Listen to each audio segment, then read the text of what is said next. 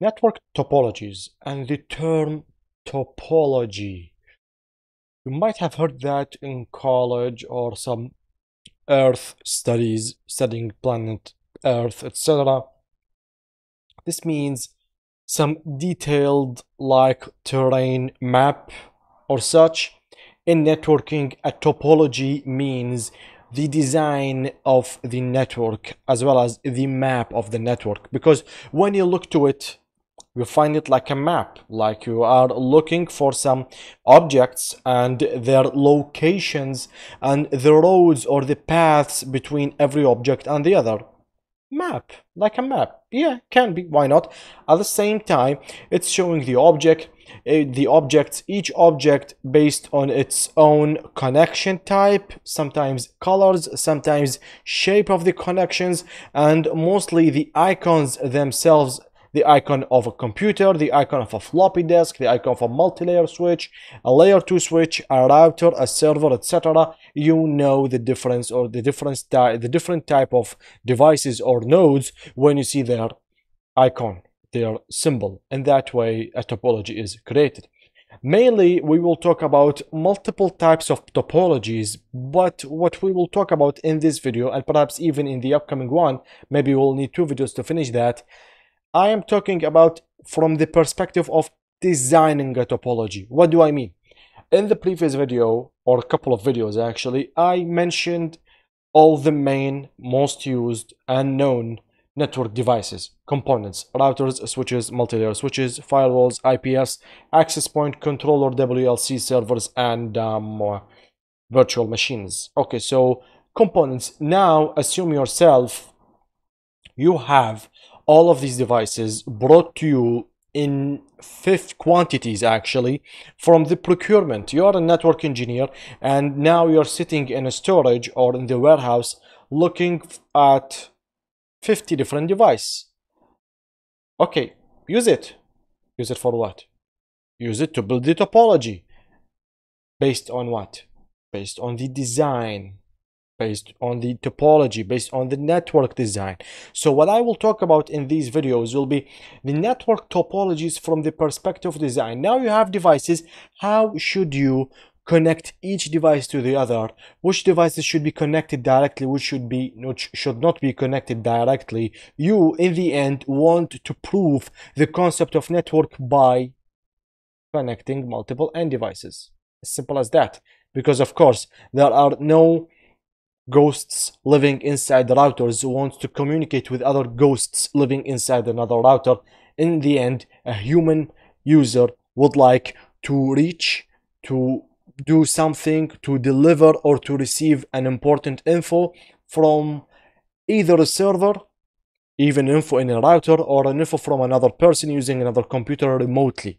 This is the idea. So in the end, we want to serve people users to make use of the network to be connected through the network so this is how to validate that so the idea is these users how should I really connect them to the network, involve them in the network so that they will start using the correct device that should be connected to the correct next device that should be connected to the correct next device leading to the internet and on the other opposite side as well. This is the design and this is where the topologies come to. So we have mainly the first thing that we need to know, the two most famous common important designs or topologies are called the two-tier and the three-tier designs. So two-tier and three-tier are typical for enterprise and campus networks which came first uh this what is that actually? Again it's typical for enterprise networks and typical for campus networks which came first which, which one of that came first? Yeah this one is a different question. I should have typed and enter here. And what's the difference? What i mean by that i mean which one came first two tier or three tier? And what is the difference between two tier and three tier? Leave that for now but typical for enterprise and campus network this is the two tier design and the three tier design design. Let me start with the three tier because it delivers the most bright idea. Now you have the endpoints. Do you remember the previous video? I told you what are the endpoints? the definition of the endpoints, and examples for endpoints, computers, personal desktops, computers like desktops, laptops, IP phone, printer, IP camera, and server, mobile phone. All of these are the endpoints. So number one, you have your endpoints and you have an endpoint that would like to communicate with another endpoint. An endpoint would like to send or receive something from another point. So that will be the idea. So the first layer that your end devices should be connected to are mostly more than 90% are layer 2 technology. Layer 2, Sajjad, show some mercy. We are CCNA students. I will have a chapter for layer 2 network technologies called network access. But for now, just to know the access, the network access layer is your first gateway is the first thing that you will face, you will connect to in most of the networks or actually in all of the three tier networks. So that will be the access layer. In the access layer, you will find those classic switches that I've talked about a couple of videos before and a switch you are connected to should connect you and connect you to another switch that connects you to the destination. But as you can see here, unfortunately, there is no real connection between that switch and that switch. There is no real cable extended between any of these four switches that you can see by your, your eyes right now. Is that correct? Yes. Then well, actually, based on the three-tier topology, in order for a switch to reach, an, to reach another one, it must pass through a device. Um, it looks like a multi-layer switch, correct? I'll tell you more info about that. But it must pass through a layer 3 device, like a multi-layer switch, that should pass it to that other switch. And that is called the distribution layer. In the distribution layer, you will find layer 3 devices like either routers or multi-layer switches. You find here typically multi-layer switches can be mostly why because this device can have a port operating as a routing port and thus it will communicate with the router and can have another port operating as a switch port that can communicate directly with a switch. So it's a hybrid device looks like two devices connected internally one half for routing another half for switching. That's why we mostly will use multi-layer switches on that layer. So at least what we will be having is that a switch an endpoint will have to ask its own switch to connect it via the distribution to another switch and the other switch will deliver to the destination. This will be access, distribution, as long as we are still landing in the LAN. Landing, this is just like a genius thing that I've just created. LAN in network like ing. Okay, I'm still shocked with that. Okay, so LAN ing, I'm just still doing the LAN engineering or the LAN networking. I can only need or use the access and distribution. Thank you, lovely, perfect, we are good. If I wanted something from the internet, then my packet should go to my switch. My switch will, of course, will not be able to connect me to any other thing, no matter what it is. It will go directly to the distribution layer. The distribution layer will say your destination is the internet. Well, the internet should be connected to the via, to the core. You will only go to the internet via the core based on the three tier not based on something Sajjad said, not like forever. This is, I'm not giving you a word like a sword at all. I'm telling you, based on the three-tier design that we are studying right now in this video, a packet going to the internet must pass through the most expensive, fast, speedest, like cool, coolest, whatever devices, which are the routers that participates in the core the layer and the core layer will lead you to the cloud, to the internet. And the reply will go back all the way down so that you will receive your info when you would like to go to cisco.com, youtube.com to see the channel, google.com to google whatever you want, etc. So that is the classic, typical, lovely layer 3 design and access distribution core. This should be the path from upstairs down, also known as the downstream. Now, something different will be the collapsed design collapsed like you want to collapse something um a can of pepsi or whatever you want. So the collapsed design will be called a two-tier design. In that case we are collapsing something so it will be smaller it will be simpler it has less components less complexity and that will be only two tier two layers. Layer number one will number one will be the access layer number two will be the distribution and now you can see that i can either use this path to reach the destination this path to reach the, to reach the destination this path to reach the destination. So many paths are available. This is called the layer 2 this the tier the two tier. This one is called the access this one is not called the distribution. It will only be called the aggregation. Because this layer is the collapsed result of combining both the distribution and the core and thus it's called the aggregation layer. Not a distribution. Please be careful. Design components and acronym are sensitive. Design distribution and core only and distribution and core for tier 3 aggregation for tier 2 only. Now something is lovely before i jump out for this slide is that the access layer will be responsible for authentication while the distribution layer will be responsible for fast convergence. What is authentication?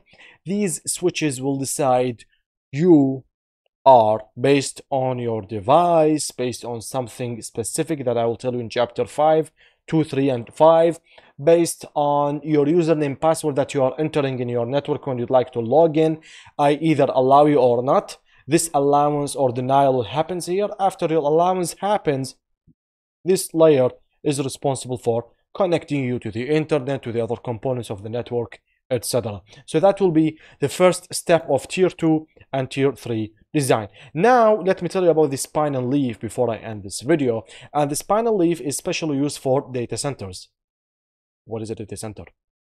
Simply, data center is that typical best room in your network that all the network devices are most of the network devices are installed there so if you have a network that has a building of four floors okay this is a subfloor or whatever so floor number one two 3 and 4 and in each floor you have a department like uh, HR why are they on the fourth floor? Well I want them to go up the stairs and there is no elevator. I, like I like to do that okay? And sales um, IT and accountant Okay, let's say it in that way. Well, sales should be here at the beginning where they face the customer, but okay, let's consider them sales, IT, accountant, or, or finance, uh, accountant and finance and HR. In that way, uh, in order to connect these employees together in one network, you will need a switch. Uh, you will need a switch for these guys, a switch for these guys, a switch for these guys. We are good um, perhaps a router here, just one single router, and these switches will be connected to the router to route like between them and bring them the internet, etc. But under the ground I have one room that has multiple racks. And just in case you have no idea really no idea about racks I will tell you so much of information about racks and rack security and protection in chapter 5 so bear with me until that time. But I'll have so many racks. Inside them I will have all the distribution layer multi-layer switches all the core routers, all the servers important, all the firewalls, all the IPS, the wireless controller, and the Cisco DNA center and the virtual machines. So all of these eight types of devices are located in one room, very clean, very low moisture, very cold, 15 to 20 uh, Celsius degrees as at maximum from 10 to 20 actually the average should be 15 and perfect, secured, locked with so many security, all of these security layers I've talked about in chapter 5 already. So this is called the data center. The design of connecting your devices together in the data center is called the Clos or the spinal leaf. Clos or the spinal leaf. It uses or consumes special type of Cisco switches that are called the Nexus switches, which have the top, the icon of these and that. So when you have really big, big data center, like not that really fourth floor um, building, if you're an ISP or you are a mid to large network that has more than 500 to 1000 employee, then you will need this design in your data center. So if you have, let me tell you something important. If you are a company that you have tens of servers in your environment something for IPTV, something for VoIP, collaboration, video conferencing, uh, caching data, CDN, etc. Then you'll have really tens and tens of servers. The method of connecting the servers together together and the method remember that of connecting the virtual machines together should be done by using the CLOS CLOS the spine and leaf. Where you have all of your servers are connected to the leaf switches which are layer 2 switches. And of course layer 2 switches do not communicate between them each one to the other. Each leaf in order to reach the other leaf should pass a spine layer 3 switch a nexus layer 3 switch and go down to the other leaf nexus switch and it will reach the other server this is how things should be designed on.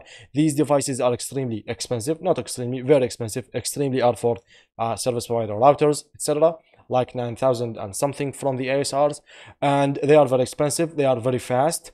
Uh, these Nexus switches run an operating system called NX OS the Nexus operating system that will be covered in this course for zero percentage because it's only only purely a data center thing. So it will not be mentioned not here not in the CCNP of this uh, level not in the CCIE of the enterprise no. In the CCNP data center only and only yeah. And there is also something called ios xr for service providers and i will talk a lot throughout the course. Okay.